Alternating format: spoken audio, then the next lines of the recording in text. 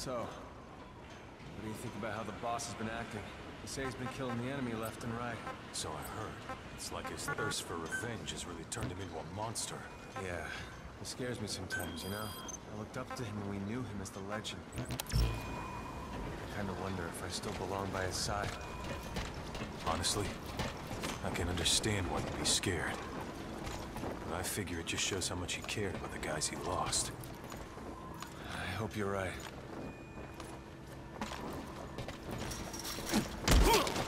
What's up, boss?